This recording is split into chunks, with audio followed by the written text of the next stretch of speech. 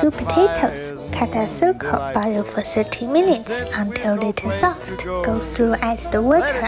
Then, hey hey, my favorite way to mash a potato is using a garlic press. Mix mashed potatoes, glutinous rice flour, cornstarch or potato starch, salt and pepper. Knead the dough until smooth roll and cut into the shape you like. You can use a fork to press some pattern. Deep fry over medium heat for 5 minutes until they turn light golden. Then deep fry over high heat for 30 more seconds until they turn golden brown. Chili powder or ketchup.